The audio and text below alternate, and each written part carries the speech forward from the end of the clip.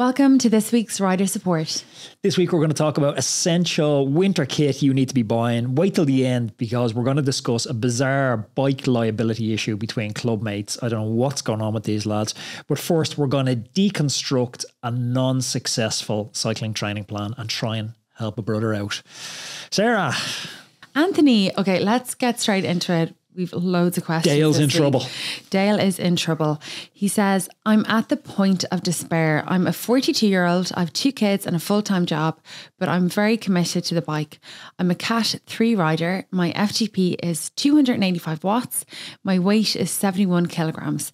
I've been committing about 15 hours per week to my training for the last year and I'm getting worse. I've been really motivated all year, but the lack of progress is starting to affect my willpower to train.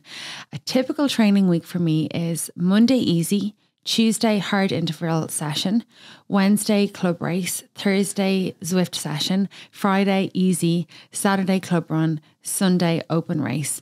Any light that you can shed on this would be really helpful, Dale. Oh, he's poor Dale. Dale's got himself a classic case of cumulative fatigue. Yeah, it's kind of like having glandular fever or mono, but it's yeah, as you said, you've you've done this to yourself, Dave. Dale, Dale, sorry. Dale. He's got a case of training stress and life stress. And this isn't uncommon for athletes who are balancing full time job, demanding life responsibilities, family responsibilities, but also very ambitious and motivated. You do see this with a lot of high achievers who are very high achievers in a family sense. They're building like a very, you know, high performance family. The kids are, you know, progressing in loads of activities.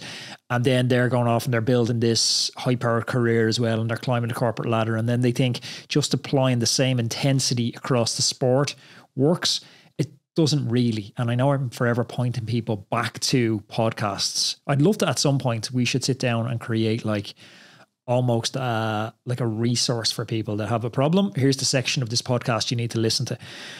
But think about total life stress for a minute. Dale's 42. He has two kids. He has a full time job. You would imagine some amount of stress comes with kids, job, functioning relationship with his wife or girlfriend.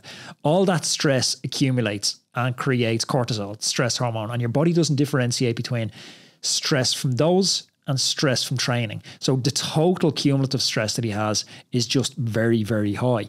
And when that chronic stress gets really high, it's going to suppress stuff like immune function, it's going to suppress recovery, and it's going to make it harder for your body to repair and grow after an intense workout.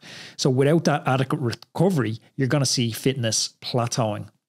We've referenced it a load of times, but I just think it was in its simplicity, it was brilliant when Matej Mohoric talked about the function training is to get better from training. So training doesn't make us any fitter. Training plus recovery equals the adaptation that we're looking for. So Dale has left no space whatsoever in this training plan to get adaptation from his training. His training week looks very hectic, doesn't it? Yeah. I mean, it's it's seven. If I'm not wrong, it's seven days a week. Yeah, well, look, there's some easy sessions in there, but look, okay, give him, let's help him out here a bit. So, unpack his week. So, he's Tuesday, Monday's easy day, which is quite typical. Then he's Tuesday, hard interval session. Wednesday, club race. Is Zwift on Thursday, which is hard again, probably. Saturday, he's got a club run, which can have varying intensities. Definitely periods of it is going to be hard. And then a race on Sunday, which is going to be intensity. So, that's four or five sessions hard in a week. It's too hard too often. Stephen Seiler, physiologist I had on the podcast, he said once to twice is the maximum intensity per week. And the unglamorous reality of the rest of that time, it needs to be quite monotonous zone one and zone two riding to give ourselves that to give ourselves that space to get the adaptation from the hard training. I I, I think that's it from him. Also, like his question was short and maybe he is already doing it, but like the basics of periodization, periodization works off can we stress the system until it adapts? Now, can we give it a different stress until it adapts? Can we give it a different stress till it adapts? Then can we decompress and let it grow? So we typically see a three week build block where week two builds on week one, week three builds on week two, and then week four is decompression block to allow us to breed and, as the French would say, absorb those training gains. I would be looking out, Dale, for signs of overtraining, which could spill into signs of chronic overtraining. Persistent fatigue, irritability. Like, what's your whoop data saying? Like, if you're wearing a whoop, what's your recovery scores on that? I'd be looking poor sleep, lacking motivation, which you already flagged in the question, higher perceived effort than normal in during sessions as well. John Wakefield talks about a sub maximum fatigue test in one of his things. I think stuff like that would be worth checking out as well. And yeah, I think I mentioned sleep already, but that's an important one. The kind of disrupted, broken sleep. Mood, sleep, libido, I think, are kind of. Libido, sure, that Yeah. in the mix. Crowbar that in. Well, Dale, I mean, you need, do need to watch out for these things, but like, I totally agree. Okay, so I, anyone who follows me on Twitter will have seen that this week I was, I'm responsible for responsible for taking the clips out of the shows and sending them to our amazing um, editor, Wes, and he takes them out. But I watched the Vasilis Anastopoulos. Anastopoulos. So he is Mark Cavendish's coach. And it was, y- you guys made a very interesting point because I would initially straight away go to Dale and be like, you probably don't have a coach. But that's not totally true because sometimes people will have a coach, particularly if he's a high performer, like Dale does sound like he is. And he's maybe pushing his coach coach to give him more sessions, harder sessions, get more bang for his buck. And his coach is maybe like, well, you know what, I have to earn my crust here. And if this is what Dale wants, I'm going to have to give it to him. Yeah, like I think he can definitely start to break if he has a good coach and his coach really knows him, understands intimately his lifestyle, his stressors, his motivation level, point of his development. You can take more than the one session a week of intensity, two sessions a week of intensity. You can look at the overall intensity of the week, like looking at stuff like IF scores. But I think for Dale, he needs to be just focusing on basics here. It's clear that he has chronic stress across the week, and cycling looks like it's contributing a huge part to that chronic stress. Also, 15 hours for a Cat 3 is insane. 15 hours for like a Cat 1 Conti rider, fine, but 15 hours for a Cat 3 is massive. That just goes to show his ambition as well. Yeah, it really does. And it must be so demoralizing for him, as you said, to have plateaued at this point. When you're in a hole, you need to stop digging. Yeah, it's it's tough. Um, okay, Dale, hopefully that helped. Okay, next question. Settle this for me, banana. Is that a- the whole question? Hi, Sarah. This is potentially a question for rider support that you guys do. This is a message in on DM on Twitter. So let's set the scene. I was doing an Audax event two weeks ago. Around 35 kilometres in, myself and a friend stop at a crossroads in the middle of nowhere to have a banana and a swig of water. I threw the banana peel into the ditch and got told off by a passing third cyclist saying, Don't be throwing shit around. To emphasise, it was just the peel, no plastic, no paper, into a ditch miles from anybody's house. What are your listeners' thoughts on this? Am I in the right or must I be paraded down the Champs Elysees in my lycra getting banana skins thrown at me akin to the Game of Thrones shame meme? And that's from Barra. I'm sure you're more into environmental footprint and you'll probably have a better idea on the decompostability of banana skins. But like for me, like people love virtue signaling. Like, is this the same lad shouting at you? The third cyclist is coming along, riding a carbon fiber bike, which is totally non biodegradable. How often is he changing those out? Is he upcycling them? I absolutely doubt it. I got shouted at before for throwing a banana skin by a lad in an Audi SUV. I was like, catch yourself on. What are you shouting at me throwing a banana skin?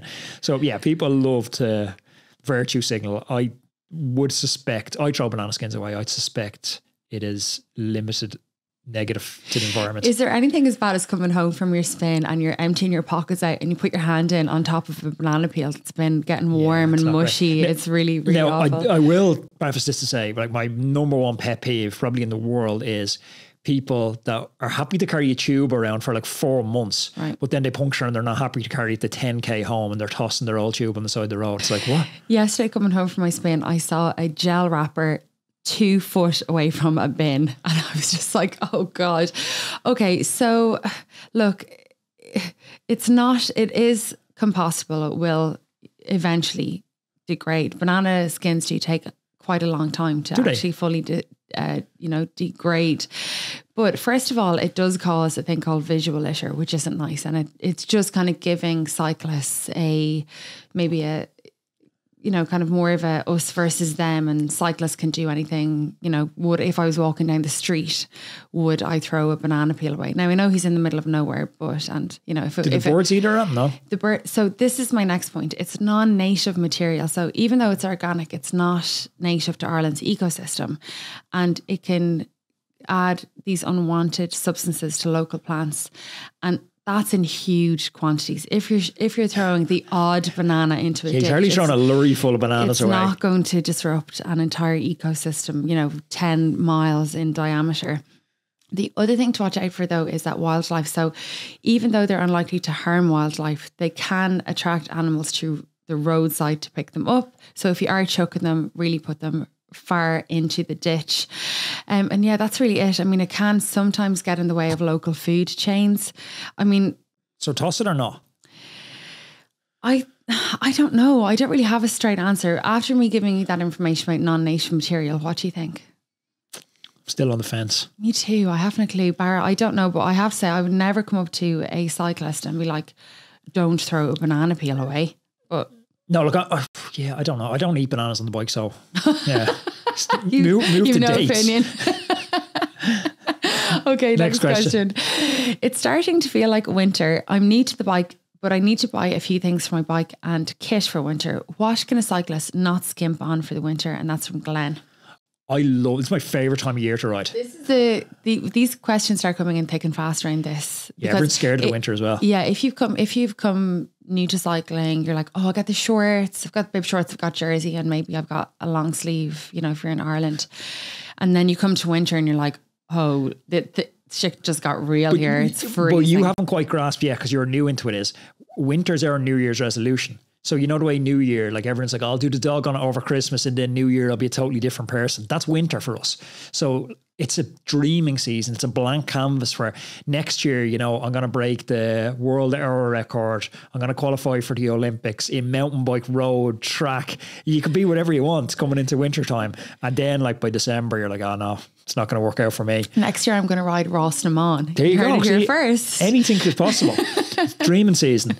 But I love riding this time of year because it's quite far away from races and you're just riding. People that don't like riding in the winter basically don't like riding because you're riding with no objective at this time of year, just for fun. His questions about kit. Uh, there's so many cool pieces of kit you can get for this time of year. I think mud guards, if you're in somewhere where it's raining, is going to be the best bang for the buck in terms of keeping you warm and dry. But you know they're not very glamorous. I like having different types of kit. Like I'll have two or three different sets of gloves for different temperatures. I think that's really important. That would be my number one piece of advice. different sets of gloves. Yeah. Yeah. So you need like really thick gloves when it's cold. You need lighter gloves. There's nothing as bad as if it's not cold enough for the gloves that you have. Yeah, you and your hands get hands and sweaty and wanky. it's just really, really awful. So I think I actually picked up an amazing pair of really light running gloves and they've done me like for most of the season last year on, until it comes to those super cold days. But for me, gloves are the number one But thing. then I'd say the same with shoe covers, like different types of shoe covers. You know, you can go the full on Assos ones that come up past your calf and give you that mad protection for the deep winter days where it's pouring rain. But you also need something a little bit lighter for your ear. I probably have three sets of shoe covers, three sets of gloves, and a set of toe covers, which is like Really pretentious. yeah, it's bougie. uh, the neck thingy is real good. It's like a scarf you pull on over. Again, another thing that that was on my list as well. So I think it's a snood or a buff or something. They are absolutely amazing, especially when it's cold, and that cold air is cutting into your lungs. It's just nice to be able to pull that over your Skull cap is another one. Yeah, definitely. really, really but the biggest one that's changed in the last few years. So when I was starting cycling, it was all about layers. You wanted to have like six, seven layers on to stop the cold getting in. That's because all the kit was shit. You couldn't get one good piece of kit. If you have a good jacket now, like I've been rocking the Lacoste Hors Categorie jacket. If you have one good jacket and a base layer, that's it. You're done. Like I'm watching some people like Alex Howes and stuff training in Colorado. Base layer jacket and he's training in the snow. That's it. The technology's got so good in the base layers and the jackets that you don't have to have on these multiples of layers. So I would say a smaller number of pieces of kit, but better quality kit rather than having six sets of bib tights, loads of jerseys, different types of jackets. Have your variety in shoe covers, have your variety in gloves, and then a small number of really good we are so excited to announce that we are partnering with Whoop. Whoop are changing the game when it comes to wearable technology and health monitoring. Whoop is a wearable health and fitness coach that provides you with feedback and actionable insights into your sleep, your recovery, your training, your stress, and your overall health. Sarah and I have been using Whoop for years, and we love the insights it provides into our body's inner workings. It really gives us a look under the hood. And you're going to see Matthew van der Poel, Richard Carapaz, and other elite level cyclists wearing Whoop, but it isn't just for those superstars. All the data is personalized to your unique physiology and fitness levels. If you're interested in taking control of your health and your fitness so that you can excel in all aspects of your life, you have to go and check out Whoop. Go to the URL now, which is join.whoop.com forward slash roadman. I'm going to pop that in the description below, and you're going to get a free month's access to Whoop membership on me. Promise you won't regret it other core elements. Yeah, I totally agree. Don't skimp on your leggings. So I was stopped at a coffee shop in the middle of winter last year. I was completely decked out in winter kit, and one of the the chaps having a coffee beside me was in bib shorts. And I was like, Would you not get yourself leg warmers or you not perished?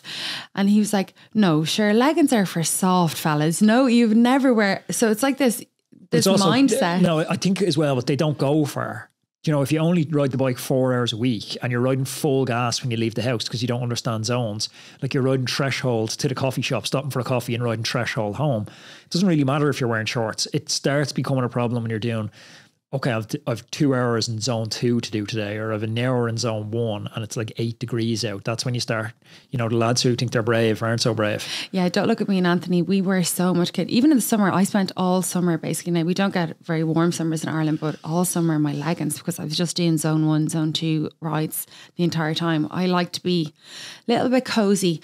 Okay, next question. Hi, Anthony. I gave a clubmate a lift to a sportif the other day. I have a bike rack that you attach onto your car hitch. I finished the race first, so put my bike on the rack. When he finished, he put his on and we secured it with the straps together. He texted me later that night saying his frame was damaged and me, my bike rack, and my straps were at fault, and I would need to pay for a carbon fixing if possible or a new frame. I'm completely flabbergasted and I feel like I'm being conned. I haven't written back yet. I'm awaiting you and Sarah's advice, and that's from Alex. New phone, who this? Block. Jesus, this He's is... got a neck on him. what the hell? But, this is crazy, isn't it? Yeah, but like your man but this has got like, mental health issues. but this is like you know you you pass somebody their bike, you know it slips, it's it, it cracks a frame, or I, there's so many scenarios where damage can happen to a bike, and it's well, okay, wait, like, but, so, like let's are first, we that litigious? First, like he secured the bike onto the rack. With his help though it says here when he finished he put his he on, his and, we se- on. and we secured it. So, yeah, so he put it onto the rack. but he's blaming the straps as well. He's not just blaming the rack. He's not just blaming the rack, rack he's blaming the straps and how it was attached. Okay, so if you were to even indulge this fallacy for a minute, it's highly unlikely that putting the bike onto a bike rack is going to cause damage between one frame and another. Yeah, carbon frames are historically known to be fragile, but bike racks are designed to avoid that exact scenario. That's the whole point of having a bike rack on it. They're designed to avoid that scenario. But like if you wanted to put the legal hat on for a second, like did one flow from the other? Like, what did the damage flow from him putting the bike on the rack? Sure, we haven't a clue. The bike could have been broke before he put it onto the rack. Like, it's totally ridiculous to say a natural and probable consequence of putting your bike on the rack is that it's broken. His bike could have broke two weeks ago Absolutely. and he just put it on the rack. Well, this lad's an absolute charlatan. Yeah, it's funny here that Alex said, I feel like I'm being conned. And Alex Rightly so. You should feel like this. Well, there's no, there's no proof that the rack damaged the bike. No, absolutely not. What would you advise for Alex to write back to this club mate? This is somebody, a club mate, like who's friendly enough to go to a sportif with. You're an idiot. You're not getting a penny. Where's my petrol money? and you owe me for that scone I bought you in yeah. 2019. Get out next. wow, there's there's some frightening people out there. Yeah. So Anthony's, yeah, Anthony's advice there, Alex is to ignore him? No, no, him? call him an idiot. Call him an idiot. Yeah. Okay. Just cut out the clip and send it to him. Okay, next question. Hi, Anthony. Thanks for your podcast the other day where it was just you speaking about how the bike ju- just keeps pulling you back in. This is something that I can relate to. Even though I try take of, of other hobbies, I still slip back into my infatuation with cycling. I now have two kids though and want to show them that trying all sports is a good thing rather than just pigeonholing into one particular sport.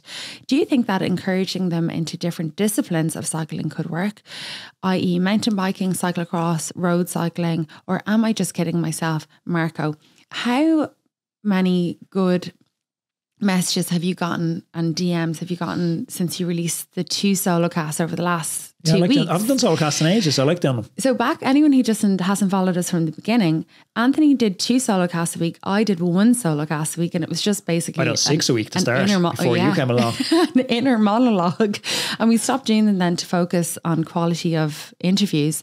And Anthony, they're they're they're making a comeback, and they have been striking a chord to people. Yeah, no, I like doing them. Uh, to answer his question, yeah, I think it's a little bit of both. You can get the variety internally within the bike. Like we ride different bikes Bike quite a lot and it keeps yeah. it fresh. Like you're going from bike packing to mountain biking to gravel to road. It never really feels like you're cycling every day if you're riding a different bike all the time. But I will say there's probably a core crossover of the type of person that's in cycling. Like mountain bikers on the extreme end, they're different to roadies on the extreme end, but the core overlap between the two is quite similar personality trait. Where if you think about somebody that plays rugby, cricket, basketball, they're all very different types of personalities. I think it's good to expose a kid to all those different types of personalities. Because you know, coming from a team sports background, I played football for a long time. The dynamic in a dressing room is very different to the dynamic on a team bus in cycling. You know, one's not better than the other, but no, it is. Yeah, football's better, but football's way more crack. But there, there's different types of people. I'm reading at the moment, and I can't tell you much about it because I'm only on chapter two.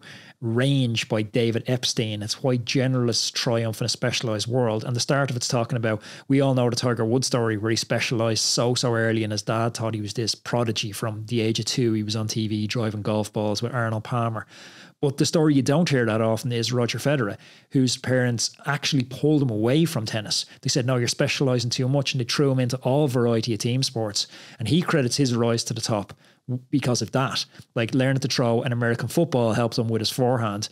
And, it, you know, the book tries to deconstruct that because that's a story that we don't hear that often. But apparently, there's a lot more successful people that aren't specialists at the start or more generalists. I think as well, Marco, just because you're you're obsessed with cycling doesn't mean that your kids aren't. You're, it's c- quite dangerous. My my mom is was an amazing uh, hurler, camogie player, and you know uh, that that's a sport that I grew up absolutely loving and playing. But she was so obsessed that you know I grew up on the side of a a pitch watching her, but it could have gone the other way where I completely rebelled against it and was like, well, your dream's not my dream. So I think, yeah, you do kind of need to be careful. That is the beautiful thing about cycling, though. There is a lot of variety in there. So, yeah, I don't know. Look, you know your kids better than we do, but I would expose them to a lot more than just cycling. Okay, next question. Hi, Sarah and Anthony. I'm so uncomfortable on the bike at the moment. Aches and pains everywhere. I've had a bike fit about 15 months ago and nothing has changed since then. I'm 51 and have been cycling for over 20 years, Shane. Listen to that sense. I had a bike fit 15 months ago and nothing has changed since then. Yeah, everything has a changed. lot has changed since then. never the man, never the same man, never the same river. 15 months. I mean, we had a bike spe- fit specialist on about a year ago. Um, I'll link the episode and he Dr. Andrew Pruitt. He's Yes, the well not bike fit specialist, the guy. He he created. Yeah. Yeah. And I'll link the episode and he said that as you get older, you need to have a bike fit every six months. Not even just as we get older though. Like if you think about what changes in 15 months, what changed between me and last week? I had a crash on the mountain bike last week. All my muscles have tightened up. As a result of that, you know, you're having changes to your body you know your flexibility. Like as we age we have changes in flexibility we have changes in joint mobility we have changes in muscle strength and they can significantly affect our bike performance. If you look at a period as long as 15 months Like they could be quite significant bike changes, especially for areas that are key on the bike, like lower back flexibility, hip flexibility, shoulder flexibility, because reductions in those flexibility can quite easily, a small reduction in those areas can quite easily lead to a massive feeling of discomfort on the bike. But also think about body composition changes in 15 months. You know, did you have a period where you were laid up on the couch for a while or you lost motivation and you've put on or lost five or 10 kilograms, you might have a totally different uh, you know, body shape, which is again, you're going to carry load different and that's going to put a different load on all your muscles. The equipment you're using is that wear and tear or degraded over the course of those 15 months because we do get components that naturally start to break down as well and maybe even just the physical alignment of stuff has started to move like shifters have started to move down a little bit so yeah i think it's nothing's changed, but everything's changed. Yeah. It's time to go and get another bike fit. Yeah, I think I think you're so right. I think go and get a bike fit. If you're still very uncomfortable, then you'll need to start exploring other avenues at physios and go to your GP and stuff. But 100% bike fit. Okay, very last question. I have been off the bike for three months because of injury. Before that, I was what I would consider a core member of the cycling group and have always loved it. It's a solid bunch of about 20 riders, give or take, every weekend. The average speed of about 28 kilometres is pretty consistent every week. Last week, I ventured out with them again and got a spanking. The average speed has gone up to about 33 kilometres per hour, and it's very pacey for me. I guess over the three months, the group has gotten quicker. Can I ask them to take the pace back now, or what's the etiquette here? And that's George. Today's show sponsor is LMNT. I've spoken with most of the world's top coaches and nutritionists on the podcast, and they all agree that getting the right balance of electrolytes is key to performance. Hydration, it's not just about drinking water, it's about maintaining the right balance of electrolytes. And that's where LMNT comes in because it's packed with essential electrolytes like sodium, magnesium, and potassium. LMNT, it helps sustain steady energy levels throughout the day, it sharpens your cognitive function, and it keeps your muscles cramp free during tough workouts. So, whether you're planning a super intense indoor training session or you're hydrating for a long endurance ride, LMNT's precise formula ensures your body performs at its absolute peak. Now, here's an amazing special offer for you guys. This is just for our listeners. You're going to get this free sample pack that I have right here with any purchase by visiting drinklmnt.com forward slash roadman cycling. This sample pack has eight amazing flavors in it. It's perfect for finding which your favorite flavor is. I'm addicted to the watermelon flavor. You can also share this with a friend if you don't like some of the flavors. This offer is exclusively available through our link and it's available for both new and returning customers. So head on over to drinklmnt.com forward slash roadman cycling to claim your free sample pack today. I'm going to put that link in the description down below. Like, first off, you haven't been out in three months. It's likely that uh, average speed is a very bad metric for judging how hard a spin is. It's likely the group may have got a little bit quicker because we're at the tail end of the season, but you've got slower. So maybe tailoring the whole group spins speed around your fitness levels isn't like appropriate really because you're going to get fitter as the weeks go on. If you're going out and you're getting absolutely rinsed and you're hanging on for dear life, you know, maybe say to the lads, look, I'll, you know, I'll spin off a little bit early or uh, start training during the week yourself to catch up. But I think you're naturally going to catch up. I think group spins do see a seasonal trend of getting a little bit faster through the summer months as people start to put in historically or typically longer hours as we go into the longer days because people can get in a three hour spin after work on a Wednesday when it's difficult to do that with uh, indoor training. So I would say the group spin will cycle back towards the 28 to 30 kilometers an hour in the winter as people take their winter bikes back out and put their summer bikes away. Mud guards go on, big heavy overshoes and stuff go on. People will slow down and you will start getting stronger as well. So I don't think it's much of a problem. No, I don't think so either. Now, I know everyone's going to come for me in the comments, but can I ask them to take the pay, pace back now? I think that's a hard no, even though people, as I said, if this is a group spin, no man's left behind, etc., etc. But think about if you have been in this group of 20 riders and you haven't taken that three months off, you're fit, you're enjoying going at speed, you guys have been out there training consistently, and then someone comes back into the group and asks you to take the pace back, you're probably not going to want to do that. I think you can modulate it a little bit over brow of a hill and stuff like that, so someone can hold on. Like, but if he's just totally on the rivet for the entire spin, it's just not appropriate spin for him right now. Yeah, but I think it's fine to ask someone to slow down over the top of the hill. Yeah, top of the hill. You shouldn't even have to ask people. yeah, like they should have they'll have a bit of class. Yeah, no, I totally agree. I think as well, I think just keep going and uh, keep taking your kicking, come back, come home early, turn off early, and you're just going to improve. As Anthony says, it's it's all going to balance Sarah's out speaking again. from experience there. I well, yes, I'm well used to getting a kicking out in the squirrel on the club spin, but you can't fault me for never complaining No, and God always showing up. Roadman, thank you for tuning in. It was Sarah's birthday this week, so if you want to wish her happy birthday, you can do it over on X. I hope you enjoyed today's video. It's good to be back doing the rider support. If you enjoyed this, there's another podcast up here which I know you're going to like. And please subscribe to the channel down here because we're back post Vuelta and post Sarah absconding for Rás na mBan MC duties. We're back on a regular cadence. So good to be back.